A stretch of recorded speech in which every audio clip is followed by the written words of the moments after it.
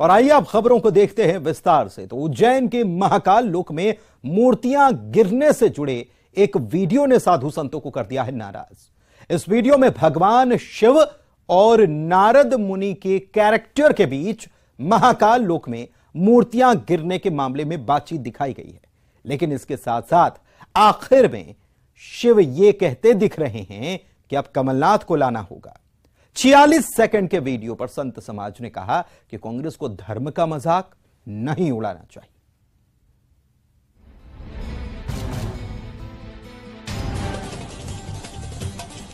महाकाल लोक की ये दुर्दशा। भोलेनाथ आपकी नगरी उज्जैनी में? मैं मैं जानता हूँ कि वहाँ क्या हुआ है। जनता की रक्षा की भक्षक बन बैठे हैं। अब कमलनाथ को लाना ही होगा। इस वीडियो से संत नाराज़ हैं और सियासत गरम। इस वीडियो में देव ऋषि नारद और भगवान शिव महाकाल लोक में सप्त ऋषि की गिरी प्रतिमाओं को लेकर बात करते नज़र आते हैं। इतना ही नहीं, भगवान शिव इस बार कमलनाथ की सरकार लाने की बात कह रहे हैं। दरअसल चुनावी साल में वीडियो वॉर शुरू हो गया है। कांग्रेस ने महाकाल लोक में आंधी तूफ़ान से हुए नुकसान को लेकर एक एडिटेड वीडियो जारी किया है। इस वीडियो को महाकाल लोक में सप्त ऋषि की प्रतिमाओं के गिरने से जोड़कर बनाया गया है। लेकिन कांग्रेस के इस कदम ने साधु संतों को नाराज़ कर दिया है। साधु संतों ने देवताओं को राजनीति में खींचना, सनातन धर्म और संस्कृति के खिलाफ बताया है और कार्रवाई की मांग की है। क्या लगता है? मैंने अभी कांग्रेस का वीडियो देखा है। मुझे लगता है कि कांग्रेस की मति मर गई है। और वो भगवान का शिव का नाम लेकर वो ये कह रहे हैं कि अब राजनीति के अंदर और मध्य प्रदेश में चुनाव होंगे तो कांग्रेस को लाना पड़ेगा। मैं कह रहा हूँ इस प्रकार की बात करने से न तो जनता गुमराह हो सकती है और न कांग्रेस पे कोई भरोसा करने वाला है। हमें सिर्फ़ शोभ इस बात का है कि ये कैसे हमारे आराध्य देवताओं के नामों को भी अपनी राजनीति के लिए उपयोग करते हैं। ये उचित नहीं है। हमारे सनातन धर्म और संस्कृति के विरुद्ध है खिलाफ है। कांग्रेस को इस प्रकार की नोटंकी कतई नहीं करनी चाहिए। इस वीडियो पर साधु संतों के रिएक्शन लगातार आ रहे हैं। कुछ का कहना है कि कांग्रेस को ऐसी नौटंकी कर धर्म का मज़ाक नहीं उड़ाना चाहिए। उधर बीजेपी भी कांग्रेस को आड़े हाथों ले रही है। प्रदेश अध्यक्ष वी शर्मा का कहना है कि कांग्रेस ये सब वोट के लिए करती है। उन्होंने कहा कि कर्नाटक में कांग्रेस पीएफआई का समर्थन करती है और यहाँ हनुमान चालीसा का पाठ करती है।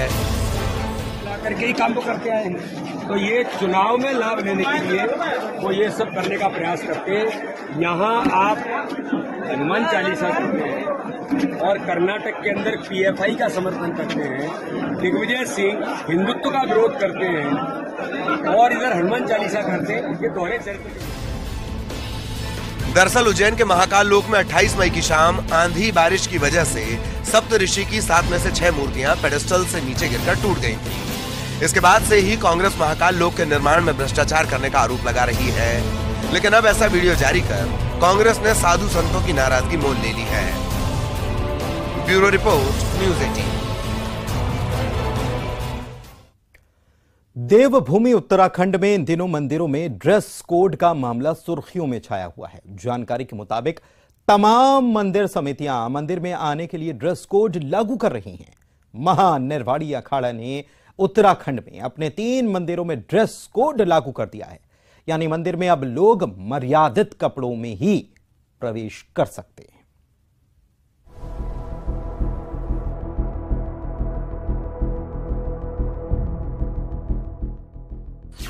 देवभूमि के तीन मंदिरों में ड्रेस कोड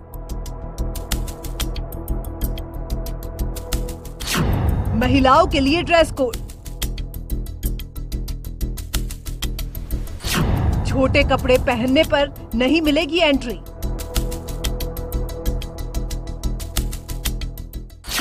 ड्रेस कोड पर छिड़ी बड़ी बहस। महानिर्वाणी अखाड़ा ने उत्तराखंड में अपने तीन मंदिरों में ड्रेस कोड लागू कर दिया है। ये मंदिर है हरिद्वार का दक्ष प्रजापति मंदिर, पौड़ी का नीलकंठ महादेव मंदिर और देहरादून का टपकेश्वर महादेव मंदिर। ये ड्रेस कोड महिलाओं के लिए है। इस ड्रेस कोड के मुताबिक तीन मंदिरों में महिलाओं को छोटे कपड़े पहनकर प्रवेश करने पर पूरी तरह से रोक रहेगी। इन तीनों ही मंदिरों में किसी भी महिला या लड़की को छोटे कपड़ों में प्रवेश की अनुमति नहीं होगी। कटी फटी जीन्स, यानी कि रिप्ड जीन्स पहनकर भी मंदिर के अंदर नहीं जाने दिया जाएगा। उसी तरह से हाफ़ पैंट्स पहनकर भी मंदिर में एंट्री नहीं मिलेगी। शरीर पर 80 प्रतिशत तक कपड़े होने ज़रूरी हैं। महानिर्वाणी अखाड़ा ने इन मंदिरों में आने वाली महिला श्रद्धालुओं से अपील की है कि वो भारतीय सभ्यता और संस्कृति के मुताबिक ही वस्त्र पहनकर मंदिर में प्रवेश करें। और ऐसा न करने पर उन्हें मंदिर के बाहर ही रोक दिया जाएगा। महानिर्वाणी अखाड़े के सचिव और अखाड़ा परिषद के अध्यक्ष महंत रविंद्र पुरी ने इस संबंध में लोगों से अपील करते हुए कहा है कि दिवालियों में लोगों को शालीन परिधान पहनकर ही आना चाहिए। देखने में आता है कि कई युवतियाँ और युवक मंदिर में अभद्र कपड़े पहनकर पहुँचते हैं, जिसमें उनके शरीर का ज़्यादातर हिस्सा खुला रहता है। इससे न सिर्फ़ धार्मिक स्थान की गरिमा को ठेस पहुँचती है, बल्कि वहाँ मौजूद अन्य श्रद्धालु और पुजारी भी असहज महसूस करते हैं। बहन बेटियाँ और या जो लड़के भी हैं, अगर वो भी इस प्रकार के वस्त्र पहनते हैं, युवक या युवतियाँ, उनके गार्जियन से, उनके माता पिता से अपील करना चाहूँगा कि वो उनको अच्छे संस्कार दें, क्योंकि धर्म स्थान मंदिर जो है, वो हमारी संस्कृति और सभ्यता का प्रतीक है।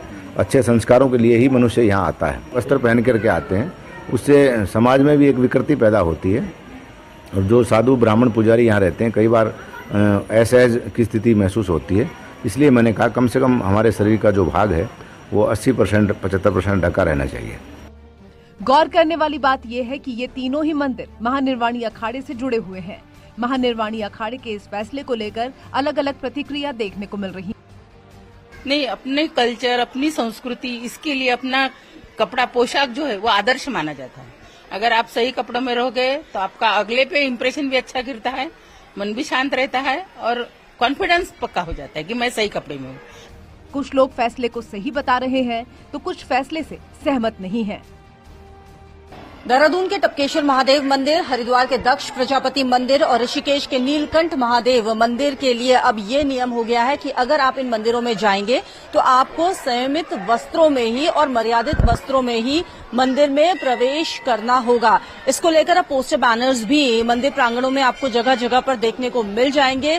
ये इसलिए किया गया है क्योंकि कई लोग जब भी मंदिर में दर्शन के लिए आते हैं वो ये समझते हैं कि वो पिकनिक स्पॉट पर जा रहे हैं और कैसे भी कपड़े पहनकर मंदिर में पहुँच रहे थे। इसको देखते हुए अखाड़े की तरफ़ से फैसला अब लिया गया है कि मंदिर में जब भी आप जाएँ तो मर्यादित वस्त्रों में ही आप मंदिर में प्रवेश करें। इसको लेकर लोगों के रिएक्शन भी मिल रहे हैं। कई लोग इस फैसले को सही मान रहे हैं। कैमरा पर्सन दीपक उपाध्याय के साथ न्यूज़ एटीन के लिए देहरादून से भारतीय सकलानी उनियाल। छत्तीसगढ़ में कांग्रेस ने अपना टारगेट लॉक कर दिया। 2018 में कांग्रेस ने 90 में सीटों में से अड़सठ सीटों पर जीत हासिल की थी। लेकिन 2023 में कांग्रेस का टारगेट है पचहत्तर। जी हाँ, कांग्रेस चुनावी मोड में आ गई है और अपना लक्ष्य तय कर लिया। लेकिन सवाल यह कि क्या यह मुमकिन है? क्या कांग्रेस पिछली जीत से भी बड़ी जीत हासिल कर सकती है? क्योंकि बीजेपी तो खामोश नहीं बैठी है।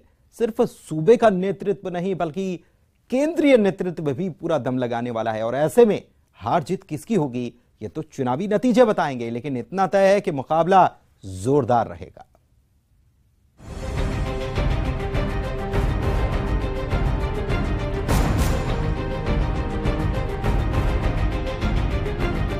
छत्तीसगढ़ में सियासी जंग का प्रचंड आरंभ हो चुका है। बीजेपी और कांग्रेस ने चुनावी लड़ाई का शंखनाद कर दिया है। एक तरफ़ बीजेपी है, जो 2018 में सिर्फ़ राज्य की 90 सीटों में से 15 सीटों पर सिमट गई थी। दूसरी ओर कांग्रेस है, जिसने 90 में से अड़सठ सीटें जीतकर इतिहास रच दिया था। लेकिन वो करीब पाँच साल पुरानी बात है। क्या ये मुमकिन है कि इतिहास खुद को फिर से दोहराए? कम से कम बीजेपी ऐसा हरगिज नहीं चाहेगी। यही वजह है कि बीजेपी सिर्फ़ सूबे के नेतृत्व के भरोसे नहीं बैठी। केंद्रीय नेतृत्व ने कमान खुद संभाल रखी है। बस्तर की 12 सीटों के लिए बीजेपी जोरदार कैंपेन कर रही है। केंद्रीय मंत्री और बीजेपी के फायर ब्रांड नेता गिरिराज सिंह को बस्तर में उतारा जा रहा है। इतना ही नहीं गृह मंत्री अमित शाह और पार्टी के राष्ट्रीय अध्यक्ष जेपी नड्डा समेत तमाम बड़े नेता छत्तीसगढ़ में जल्द हुंकार भरते नज़र आएँगे। माननीय गिरिराज जी का कार्यक्रम लगभग तीन दिनों का कार्यक्रम तय हुआ है। तीन दिनों के भीतर में बस्तर के हमारे कंकेर कोंडागांव, जगदलपुर और दंतेवाड़ा यहाँ पर प्रवास में रहेंगे और विभिन्न कार्यक्रम में शिरकत करेंगे, जिसमें हमारी सभा होगी हमारे लाभार्थियों का सम्मेलन होगा प्रबुद्धजनों के साथ, उनके साथ बैठकें होंगी, अधिवक्ताओं के साथ में उनकी मुलाकात होगी। इस तरह के कार्यक्रम सुनिश्चित हुआ है और जो हमारे अधिकारियों की भी यहाँ पर उनके साथ बैठकें होगी। लेकिन क्या कांग्रेस खामोशी से बीजेपी के चुनावी अभियान को ताकती रहेगी? ज़ाहिर है, ऐसा नहीं होने जा रहा। कांग्रेस ने तो 23 का टारगेट भी फिक्स कर दिया है। पिछले चुनाव से भी बड़ी जीत का टारगेट। पचहत्तर सीटों पर विजय पताका फहराने का महासंकल्प। लेकिन क्या ये मुमकिन होगा? पचहत्तर सीटों पर जीत के इस बड़े लक्ष्य के पीछे कांग्रेस को बीजेपी की कमज़ोरी पर भरोसा है। कांग्रेस का दावा है कि बीजेपी में चार साल में तीन प्रदेश अध्यक्ष बदले जा चुके हैं। पार्टी में लोग निराशा के दौर से गुजर रहे हैं। स्थिति विस्फोटक है। पहली बार ऐसा देखने को मिला है, बीच में ही नेता प्रतिपक्ष बदल दिया जाता है। ये भारतीय जनता पार्टी के में दिखता है। आप देखिए, भारतीय जनता पार्टी में प्रदेश अध्यक्ष, मेरे ख्याल से तीन प्रदेश अध्यक्ष इन साढ़े चार सालों में बदले। भारतीय जनता पार्टी में निराशा के दौर से गुजर रहे हैं। हर कोई नेता बड़ा बनने का प्रयास करता है, कोई एक दूसरे को सपोर्ट नहीं करता। इसलिए भारतीय जनता पार्टी निराशा, हताशा के दौर से गुजर रही है। हम सत्ता और संगठन तालमेल के साथ साथ चाह रहे हैं और हमें उम्मीद है 2023 में हम लोग एकजुटता के साथ जाएँगे और जनता का जनादेश हमको फिर से मिलेगा। कांग्रेस लगातार हर संभाग में बैठक और सम्मेलन कर रही है। बिलासपुर में बड़े सम्मेलन के ज़रिए कांग्रेस अपनी ताकत दिखाना चाहती है।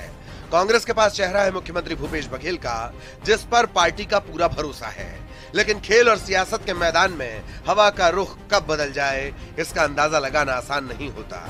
अभी भी चुनाव में कई महीनों का वक्त है और दोनों ही पार्टियाँ कोई कोर कसर नहीं छोड़ने वाली। Bureau report, news eighteen. Damoh के एक स्कूल से निकली खबर देखते ही देखते पूरे देश की सबसे बड़ी खबर बन गई, जिसका एक पहलू छले गए जज्बातों से जुड़ा है। रोज़ाना हो रहे खुलासों के बीच ध्यान दीजिएगा कि कैसे शिक्षा की आड़ में सूबे की तहजीब बदनाम हो गई। बहरहाल सीएम शिवराज सिंह चौहान के निर्देश के बाद गंगा जमुना स्कूल के प्रबंधकों पर मामला दर्ज हुआ है।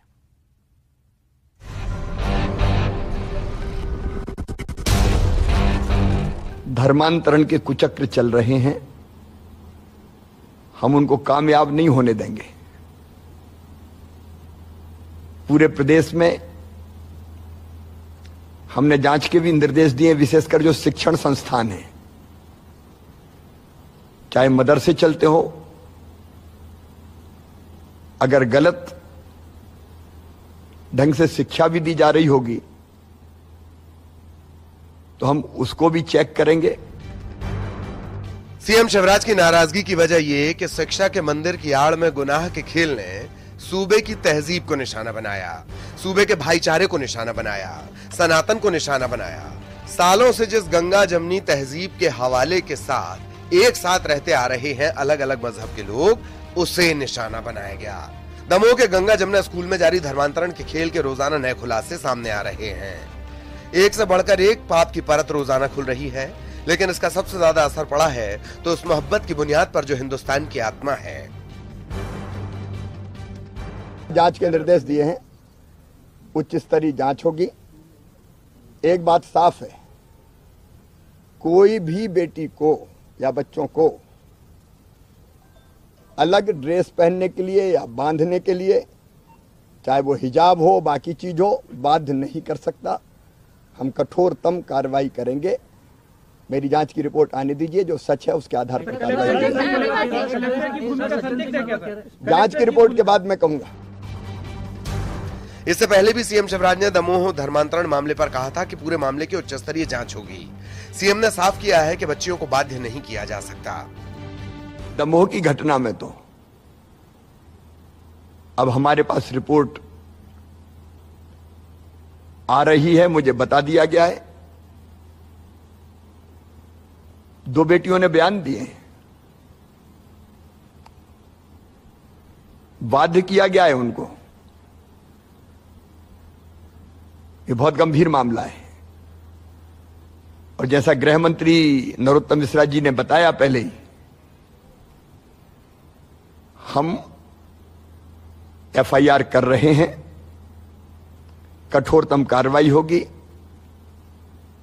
भोले भाले मासूम बच्चे जिनमें समझ ही नहीं, पढ़ाई के नाम पे बुला के। अगर इस ढंग का प्रयत्न किया जाता है तो हम किसी कीमत पर बर्दाश्त नहीं करेंगे। सीएम की नाराज़गी की वजह यह भी भांजियों से उनका लगाव। हर आयोजन की शुरुआत भांजियों के पैर पखार कर करने वाले सूबे के मुखिया की भांजियों को कोई बाध्य करे, ये नाकाबिले बर्दाश्त है। इधर इस पूरे कांड के तार अब जाकिर नाइक से जुड़ने लगे हैं। गंगा जमुना स्कूल के कांड को लेकर हिंदुवादी संगठन के कार्यकर्ताओं ने आरोप लगाया कि पूरे कांड के पीछे नफरती मजहबी गुरु जाकिर नाइक की प्रेरणा काम कर रही है। उसी के उपदेश का असर है कि खामोशी से तहजीब की आड़ लेकर ये खेल जारी था। इधर स्कूल में कई अभिभावक पहुँचे हैं, जिन्होंने अपनी फ़ीस के पैसे वापस मांगे हैं। ऐसा लगता नहीं कि शिक्षा के नाम पर चलाए जा रहे इस बहत्तर हुरिया मिशन का खात्मा यहाँ हुआ है। इंतज़ार कीजिए, पाप की परतें अभी प्याज की तरह खुलनी बाकी हैं। दमोह से आशीष, भोपाल से रंजना के साथ ब्यूरो रिपोर्ट, न्यूज़ 18 प्रधानमंत्री नरेंद्र मोदी ने इंदौर को स्वाद की राजधानी कहा है और इंदौर के स्वाद में सबसे बड़ा योगदान यहाँ के चटपटे पोहे का है। यहाँ का पोहा न केवल देश बल्कि विदेशों में भी मशहूर है। इंदौर के लोग सुबह शुरुआत पोहे और जलेबी के नाश्ते से करते हैं और यहाँ 24 घंटे आपको पोहा मिल जाता है। यही वजह है कि शहर में हर रोज करीब 90 टन से ज़्यादा पोहे की खपत होती है, जो अपने आप में रिकॉर्ड है। आज वर्ल्ड पोहा डे, पर इंदौर से देखिए हमारी खास report.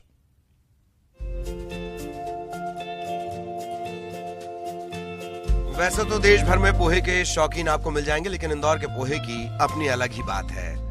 Poha super healthy food होने की वजह से दुनिया भर में मशहूर हो रहा है। इंदौर में सुबह की शुरुआत पोहे से होती है। सभी प्रमुख बाजारों और चौराहों पर बड़े बड़े कड़ाहों से उठती पोहे की महक आपको अपनी ओर खींच लेती है। इस शहर में तकरीबन नब्बे फ़ीसद लोग दिन की शुरुआत पोहे के नाश्ते से करते हैं। वर्ल्ड पोहा डे तो वर्ल्ड के लिए होगा, लेकिन इंदौर में तो हर दिन पोहा डे होता है। इंदौरियों के पोहा प्रेम का अंदाज़ा इस बात से लगाया जा सकता है कि यहाँ रोज़ाना 80 से 90 टन पोहे की खपत होती है। मज़े की बात यह है कि छत्तीसगढ़ से पोहे का मटेरियल आता है उज्जैन में प्रोसेस होता है और इंदौर में सबसे ज़्यादा खाया जाता है। इंदौर में सात तरीके से पोहा बनाया जाता है, सैनी पोहा हेड साहब का पोहा, छप्पन दुकान का पोहा, गुरु का पोहा अलग अलग पोहे और जायका भी अलग अलग वर्ल्ड पोहा डे वर्ल्ड के लिए होगा, पर इंदौर शहर का तो हर डे पोहा डे है। हर दिन पोहा से शुरू होता है और सबसे प्रचुर मात्रा में अगर खाया जाने वाला कोई पदार्थ है इंदौर शहर में तो पोहा ही है। मैं समझता हूँ तकरीबन अब 80 से 90 टन तक तो पोहा यहाँ पे खपत होता होगा। और मज़े की बात यह है कि पोहा छत्तीसगढ़ में उगता है, उज्जैन में प्रोसेस होता है और इंदौर में सबसे ज़्यादा खाया जाता है। इंदौर शहर एक ऐसा जहाँ पर जगह जगह पर पोहे के अड्डे हैं। सैनी का पोहा हो, हेड साहब का पोहा हो, छप्पन दुकान का पोहा हो गुरु का पोहा हो, हर जगह पोहा है। और पोहा का हर जगह अपना एक अलग स्वाद है और जो पोहे के जानकार हैं उन्हें पता है कि कहाँ का पोहा कब खाया जाना है। देश के प्रथम प्रधानमंत्री पंडित जवाहरलाल नेहरू से लेकर सदी के महानायक अमिताभ बच्चन तक इंदौरी पोहे की तारीफ़ कर चुके हैं। 1950 में कांग्रेस के अधिवेशन में नेहरू इंदौर आए थे, तब उन्हें पोहा परोसा गया था। इसके अलावा अटल जी, अमिताभ बच्चन और कई बड़े बड़े क्रिकेटर्स भी इंदौरी पोहे जलेबी के दीवाने रहे हैं। इंटरनेशनल क्रिकेटर वेंकटेश अय्यर की जबानी खुद सुनिए। पोहे की कहानी। जो भी टूर खत्म करके आता हूँ। सबसे पहले इंदौर का पोहा टेस्ट कर रहा हूँ तब तक अधूरा लगता है इंदौर आना। चाहे घर पे मम्मी वेट कर रही हो खाना बना के बट मैं जब तक पोहा टेस्ट नहीं करता, तब तक कुछ अधूरापन सा लगता है। और इंदौर को एक पहचान दी है पोहा ने, और मैं दावे के साथ कह सकता हूँ, जैसा पोहा इंदौर में मिलता है, वैसा दुनिया में कहीं नहीं मिलता। और मैं मतलब विश्वास के साथ कह सकता हूँ कहीं भी खेलूँ कुछ भी लाइफ में अचीव करूँ लेकिन डेफिनेटली आके इंदौर में पोहा खाऊँगा और मैं बहुत प्राउड हूँ इंदौर के लिए पोहे को दुनिया के पहले फास्ट फ़ूड के रूप में जाना जाता है लेकिन अब पोहे की पहचान सुपर फ़ूड के रूप में बनती जा रही है क्योंकि ये वज़न घटाने का शानदार काम करता है। साथ ही इसमें ढेर सारा फाइबर विटामिन और एंटीऑक्सीडेंट जैसे ज़रूरी एलिमेंट्स भी होते हैं। वर्ल्ड पोहा दिवस है। इस अवसर पर मैं ये कहना चाहूँगा कि वैसे तो प्रसिद्धि इंदौर, पोहों को इंदौर से ही प्राप्त हुई है।